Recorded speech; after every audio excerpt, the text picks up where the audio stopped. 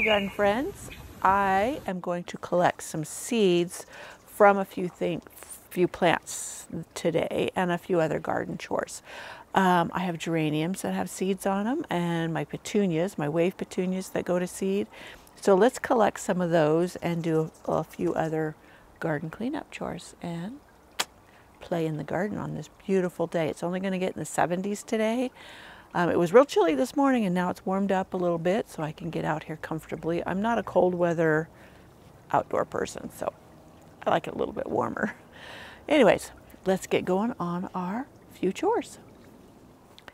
Now this is the first plant we're going to get some seeds from. Can you see these? I'm sure you can, and I'll zoom up. But these are the geranium seeds, and they've got the little white fluffy tail on it. And I have my little seed packets that I make. I had to tape this one. I couldn't find my glue. But anyways, um, a lot of times I paint them with the flowers that they have in them. This is Cosmos, but I'm not collecting Cosmos seeds yet. This is the white geranium. I don't have anything on it yet, but I will write the name right here. Now these little seed packet, the pattern for these is on my blog uh, at flowerpatchfarmhouse.com on my seed saving post. So you can find it there and download it for your use. I, like I said, normally I glue this shut, but I couldn't find the glue. That's why I have this ugly tape on it. But I just drop these seeds all in this envelope.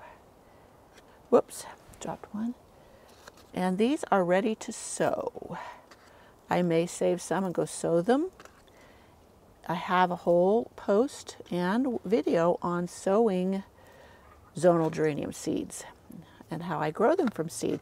Now, make sure you remember that even though you grow from the white geranium, you may not get white geraniums from the seed because the little bees go around my garden to all the geraniums. Some are red, some are salmon, some are orange, and they pollinate them and it can have the genetics of any of those colors in it, and you can get any of those colors. Or it may come up with a whole new color. So that's always the fun thing with growing from seeds. That it's a total, not total, but it can be quite a surprise. Let's see, I think I got all of those saved. Now this one down here, this flower, can uh, go to seed later. I'm going to cut these ones back. Oops, there's one I missed cut these stems back and I'm going to prepare this geranium for winter storage. And um, I'm not sure this one's kind of big so I probably will take some cuttings from it to start. Some pretty thick stems. And then um, this one um, I will when it's closer to freezing I will just cut it off right down here at the nub and put the whole container in my basement. Now I could try to, I could try to put this whole plant indoors under grow lights. I just don't have room. So that is that. I would spray this. I have a new spray I've been trying for bugs and I like it because it's uh, made with peppermint and tea tree oil so, uh, soap and um, I'm testing it to see because I always treat them for bugs before putting them indoors or storing them. So there's that geranium and I will go check and see if I have any more geraniums that have seeds on them and get me another envelope. I had quite a few seeds in on this one. That's great. So the more seeds you sow, the more chance you have for success.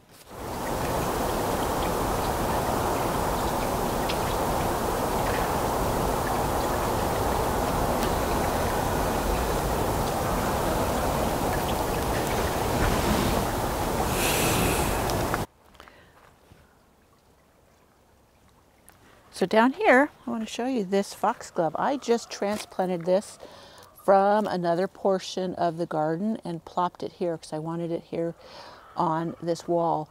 And look how wonderful it's doing. Didn't even miss a beat. I have a lot of foxgloves that are coming up in areas that I don't want them. And I'm going to move them around the garden. I've got some aphids on me.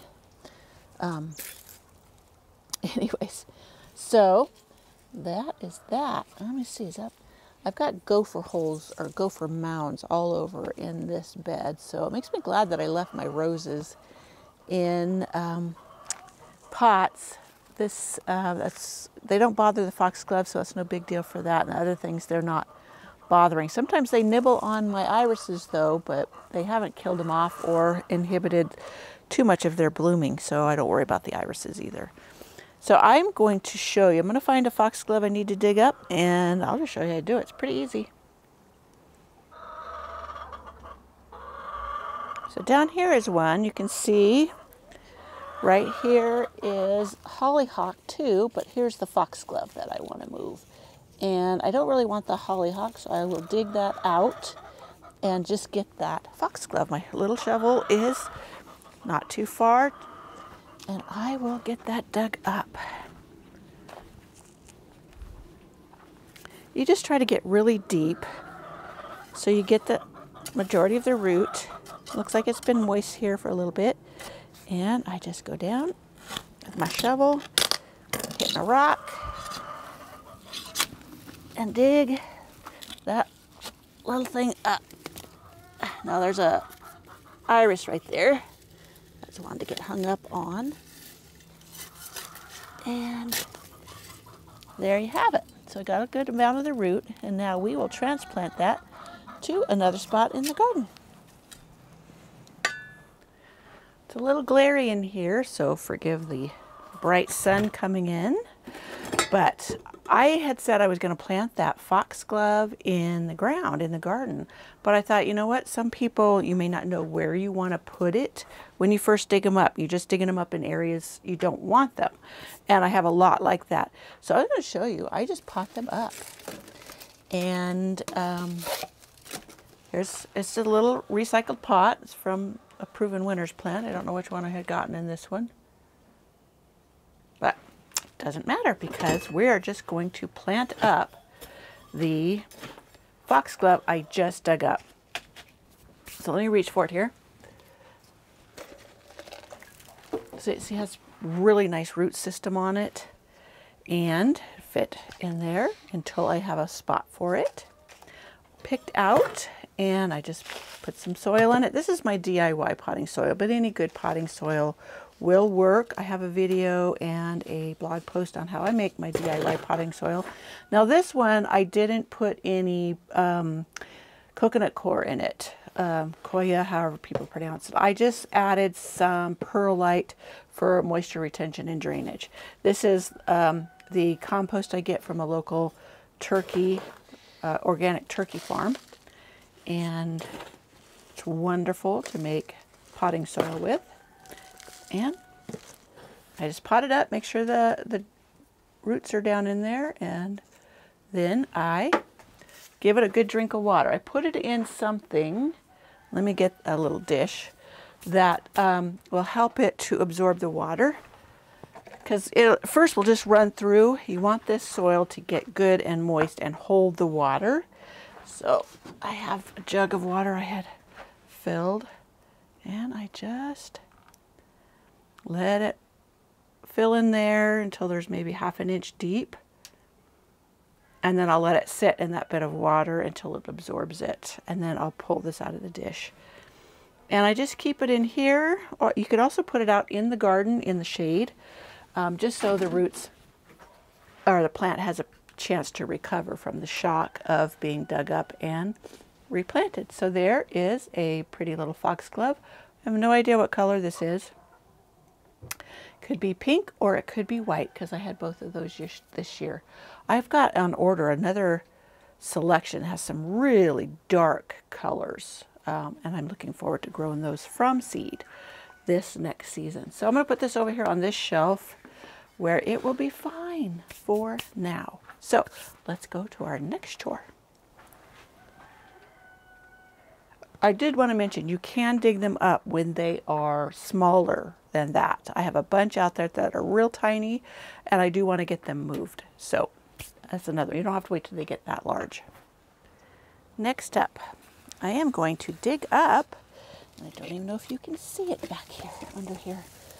this, or all of these boxwoods that I stuck these just directly, cuttings directly in the soil here beside this fire ring and to root them. And they have rooted and they're growing beautifully along with a few weeds. Uh, but this fire ring is moving and um, so these will have to move too.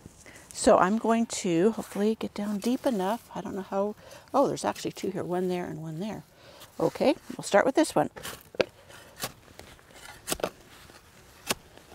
Oh my goodness, nice deep roots. I can feel them and I'm working underneath that. And the roots, I'm just tugging to see how much deeper I need to dig. Now I probably will break off some of the roots, but that's okay. They will survive this and I can pot it up into this pot to grow on until I get the other centerpiece planted and I will do the boxwood around it. I just think that would be such a pretty, pretty look. So I wanted to put it in a one gallon rather than a four inch pot just so it had plenty of room to keep on growing. And I might add a little bit of the soil from here from the ground. It won't hurt it. It won't get you pat. This is very loose, free draining soil. And hopefully I'm in the camera for you. And I'm just filling this pot up with this potting soil.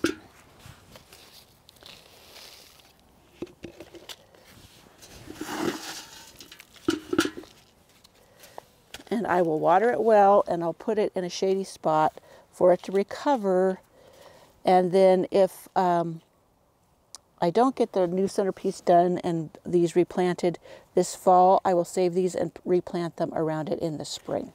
So I'll set that aside and I have a few more to go.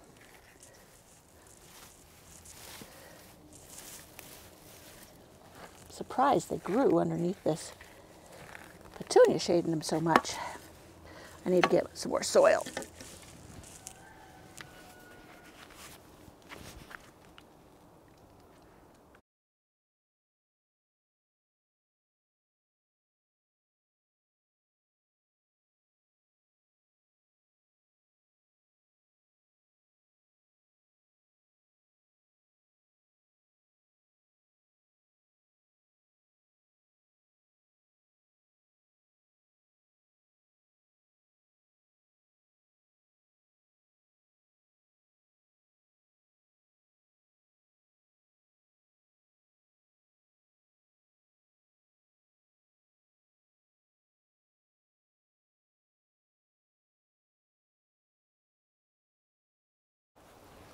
See, look at that. Wonderful garden worm. Go your way, little worm. Beautiful, beautiful. They aerate, they create beautiful castings and feed my plants naturally. So that other one was under here somewhere. It's a little bitty one. I think this one I started later. And that one too. So a couple more to get going. That right here that I moved back, that is some alfalfa straw that I had used, or alfalfa hay, as compost material, um, as mulch. Look at the roots on that baby. Beautiful. So, one more pot.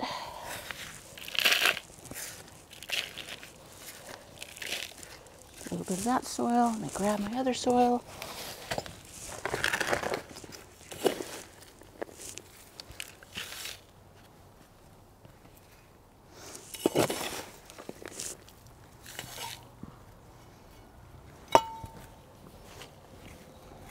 Okay.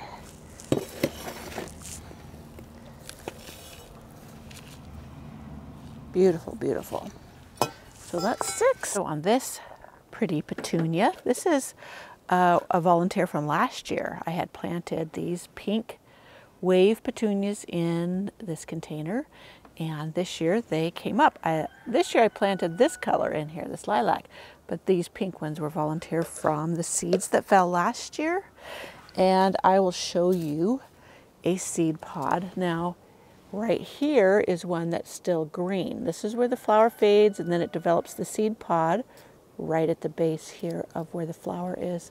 So back here, let me see if this one might be in the way, is some dried seed pods. And those are the ones I'm going to collect today. I do it in fancy old yogurt tub. That's been scrubbed clean and then I just get below the seed pod and then I nip it off in there. And I do that all along here. You see some of the seeds are on the back, stuck on the back of that petunia. But here the seed pod can go in there. And I just hunt through. Now I don't try to just get the pink. And the reason being that the bees, as in the uh, geranium one, have been going from petunia to petunia and they've cross-pollinated them. So I don't know exactly. I may get a tons of these pink. Look at this pink one. How it's a more of a different shade. See that? That's more of a, not a mauve. What am I thinking? I can't think of the dusky pink. But anyway, so I can get various colors. Now down here is a whole bunch that have gone to seed. Now I can just trim off if it's easier. That limb, limb, that little branch, and then just start collecting them. I could set my tub down and just go along and collect all of the seeds in that one. All the seed pods. It won't hurt the plant. It won't stop it from blooming. Nothing. So let me move you over so you can see me collecting the seeds. So I just moved over here on my potting bench. One of my begonias that I planted this winter and it just never really did anything. So I'm going to overwinter it inside my greenhouse. But anyways, that being said, let's get some more of these seed pods. Just go along and dropping them in here. Now I can put some of these in an envelope like I did the geraniums or I can just keep them in this tub as long as I keep it cool and dry. They will be fine and then come early spring I can dump them in one of my milk jugs as I did uh, my winter sowing. I did that this winter. Here, let me see over here. I dumped a bunch of these seeds into that uh, milk jug like I do the winter sowing and I got tons of petunias and I mean tons as well as um, I had petunias coming up in tons of my pots that I had had them growing in so this, the beauty of the wave petunias is they do go to seed and they're pretty tough. You know, wave petunias will last through a little bit of frost. It won't, is not necessarily a death knell for them. So that's nice too. So I think I have all the dried pods dropped off here. And then I will just compost this and some of the seeds will be in there. And sometimes um, when I use that compost, I get petunias too because look, there is seeds all over those leaves. I'm a little late in getting to this, but that doesn't matter. They'll still be usable and I still have tons in there. Look at that. And that's just one little branch from that plant. I have a million plants. Like you said, you've seen, you had seen my um, centerpiece. That's all purple wave petunias. And I will collect seeds from that as well once they have gone to seed. They, um, did I checked them I didn't see very many seed pods, so I wasn't going to collect until then. So there is the petunia seed collecting. Do you see this right here? This is a milk jug. This is the containers. If you've seen my winter sowing posts or um, videos, how what I used to winter sow seeds and then over, you know, put them out in winter and then in spring they're sprouting. But I decided to spring sow or early summer sow my petunias the same way, except it's just a different time of year. And look, this thing is just full. In fact, I should have pulled these out and planted them up either separately or in the ground sooner. I just haven't gotten to that. Um, and here it is towards the end of August, but they're still gorgeous. I could still do it and will do it because they will not only continue to bloom beautifully they will produce more seeds that I can collect and sow the same way next spring. I'm going to try um, winter sowing petunias, not indoors, but outdoors, and see what happens. Since so many of these come up in the pots that I just leave outdoors, I think it will work. Um, I have started some indoors, but if you don't have room or uh, lights, etc., winter sowing these may be the ticket for you. So I'm going to experiment with that this winter, and I'll let you know how that turns out. But we know it works in spring, late spring, early summer. Here, I'm just showing you really quick where I planted the cuttings, um, the boxwood cuttings that I had rooted in the ground and then dug up and they're just planted right along here. This is my side garden against the house that I've totally revamped. I'm going to have the video of what it looked like when I started and in progress. And here's a couple more of the boxwoods. They're all going they're going to line the pathway along with these nepetas. These are cat's pajamas nepetas. I got them on the clearance rack at Lowe's and um, I think they'll do great here. I got them at a really great price. They looked a real, really sad, but I knew they would recover. And um, they will make a beautiful border. Be pretty in blue and with the green of the boxwoods, I think they will do great. So it was relatively inexpensive. The boxwoods are free because I got them from cuttings that I did and did a whole video and blog post on. To see some other foxgloves that I transplanted, Right down here is a couple. They're looking pretty ratty only because our gutters uh, leak horribly and so they really got pummeled when we had that called cyclone bomb where we got 10 inches of rain in like 24 to 48 hours and it was just tremendous but they will recover. There's another one up there.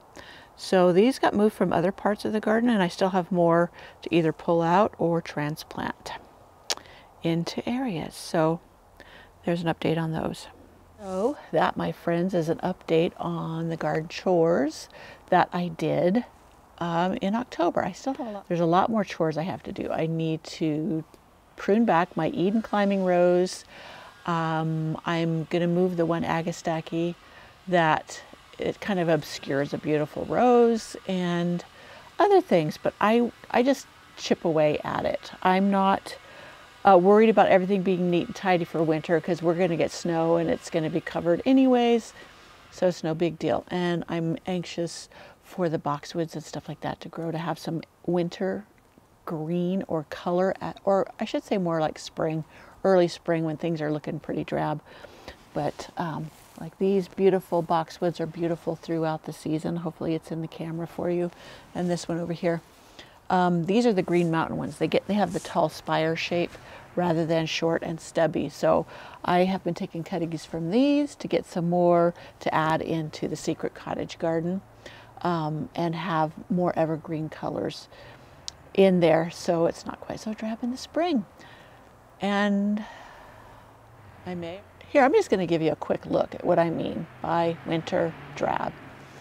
And I hope to see you in the next video where I will again have more of what I'm accomplishing out here. I've been kind of negligent on videos only because uh, we're renovating in the house and that has taken all of my time.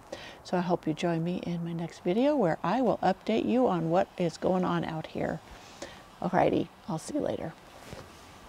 Really quickly, I'm out in the greenhouse on this rainy morning and I wanted to show you these. These are sprouts of the white geranium seeds that I collected earlier in the video. And I decided to pot some up to see if I could get them to germinate. And sure enough, look, I have four of them. And let me see, out of six, one, two, three, yeah, four out of six have germinated and are growing. We've had some mild fall temperatures, including the nights, so um, out here it's just fine. I would probably move them into my shelf under lights in my office as soon as it starts getting colder. But in the meantime, they're loving life.